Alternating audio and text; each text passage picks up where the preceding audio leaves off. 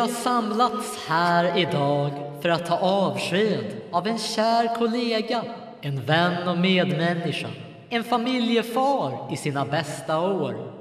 DJ Röv.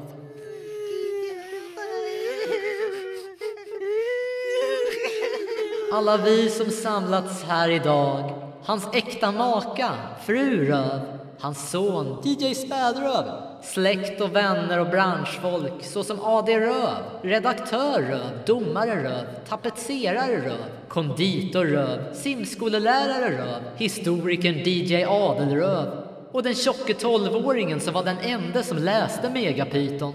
Vi har nu många minnen att tänka tillbaka på när saknaden känns som störst. Gött att han dog. Tystna dig! Ingen kunde förnedra, förtrycka och kränka ett par skivspelare som han. Det fanns inte en mixer inte han kunde svina sönder totalt bortom all fattningsförmåga. Han byggde dansgolv som en fältherre la under sig landsändar och världsdelar där krutröken utgjordes av ett kompakt os av otukt och könsumgänge. För en penis i brottsregistret, som han själv brukade säga. Hur han med fast hand övade upp sina gesäller för vilka han blev som en far till en son. En biologisk son, så att säga. Det biologiska försummade han som bekant aldrig i något sammanhang. Gött att han dog. Tyst Emil! Vi minns hans DJ Röv-retreat där han höll sina rövfullnäskurser. Det gällde att fånga röven. Ända sedan han som spädgris scratchade ett par fonografrullar på vinden hos sin farfar DJ Gammelröv var han den ultimata groven på spåren. En stigfinnare i den bultande basens stånkande snårskog. Ha hallå, kan någon ta och väcka kantor, Röv? Han har somnat över orgeln igen. Hallå? Tack så mycket. Många har undrat vad DJ Röv dog av. En del trodde kanske att blandmissbruket skulle ha skulden där i. Eller hans kompletta samling könssjukdomar. Alternativt en dödlig elchock eller en blixt när han hade ett sätt i ösregnet på Högdalstoppen. Men i själva verket var det hjärt och kärlsjukdomar. Det var kokosfettet som satte punkt och lyfte av pikatten från hans levnadsbana i förtid. Ha hallå, frias röv! Lugn, det här är ingen eh, New Orleans-begravning i Eilers anda. Skärpning! Det har ju även läckt ut en del information i pressen om DJ Rövs arv, vad han lämnade efter sig. Ett par gamla dubbdäck. Det har ju även förekommit viss vadslagning om vad som stod i hans testamente. Om DJ Röv hade blivit blödig på gamla dagar när han tecknade ner det och kanske börjat ångra en del hårda ord och bistra sanningar som sagts till kollegiet genom åren. Eller tvärtom, att han tidigare hade varit blott allt för mild och tänkte helt enkelt lägga ner lagen i några stadiga budord. Oddsen var lägre för det senare. Historieförvanskar Röv har velat påskina att DJ Röv enbart var en enda stor mytoman som man inte ska tro ett dugg på vad han sa. Själv tror jag att sanningen ligger någonstans mellan skinkorna. När officianten senare sprättade upp kuvertet för att läsa vad det stod var det kort och koncist. Vi citerar DJ Röv. Porto Ingo. Under sitt sista DJ-pass höll han precis på med att ta oss tillbaka dit där allt började med Break Machine som han skulle mixa in i sin gisslan av rättande snuffjazz-groove.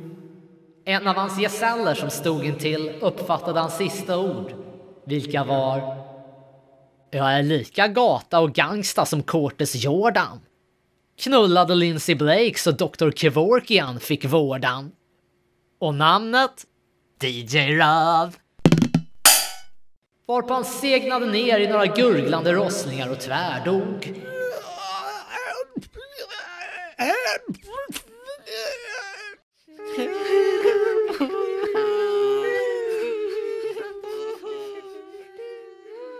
Enligt eh, död mans hand-traditionen, det vill säga död rövs DJ-bås, så har fotograf Röv fotat av det som låg sist på hans skivspelare.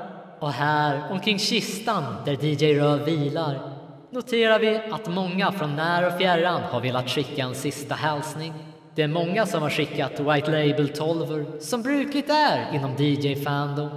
Kondoleansbreven har dock inte kommit fram något enda. Det visade sig att postiljon Röv har fört upp alla i röven. Ja, just det, i röven.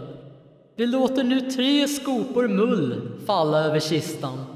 Och eftersom vi inte har någon mull på grund av att serieteket inte längre har någon mulltoa så ställer vi istället dit den heliga treenigheten, två turntables och en mixer. Vi ska även passa på att fråga om det är någon som vill säga något. Gött att han... Nu tiger du! Ingen?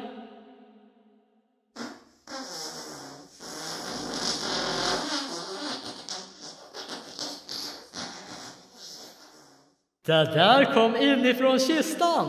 Alright, likstelheten har gått ur. Han är lovlig. Nu börjar kyrkkaffet.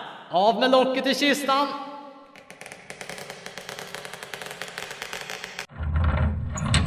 I med bitkulan så fyller vi DJ Rövs sista dansgolv.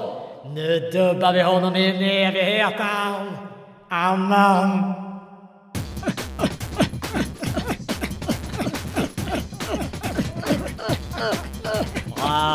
Wow, wow, Ställer i kön, trängs inte. Ja, vad fan, nu kör vi. Den kilen ska in där. Gött att han dog! Har verkligen inte en dag för tidigt. Synd för att stoppa hans aska i makarontermosen sen. Jag ska fram här. Ja, ilskan. Vet du vad?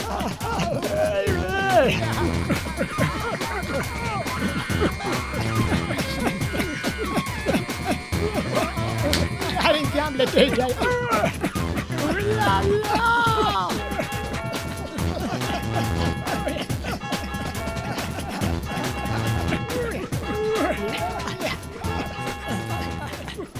Ralf! DJ Ralf! Gött att han dog! Fy fan vad gött. Det är gött.